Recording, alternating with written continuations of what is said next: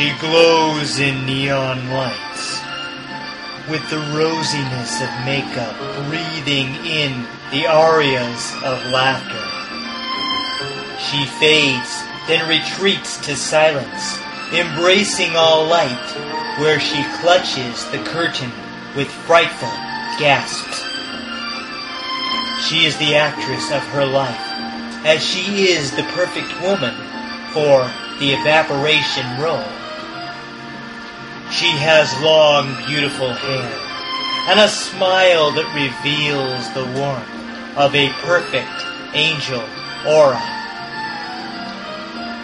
The audience believes she is perfection, but she was blessed with a curse, cursing like no other. She was the reason her father abandoned his children, and her mother died giving birth to her. She knows insanity of her brother and an aunt who taught her acting through screams of agony. She learned how to act in dreams of death with a fake smile, singing songs of conviction and its hope. She wants her happiness through a man who would come to claim her through acting the part of her lover.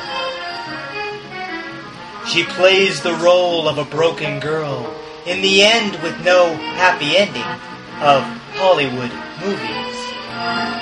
She discovers what she knew and uncovers the perfect ending in death, taking her final bow.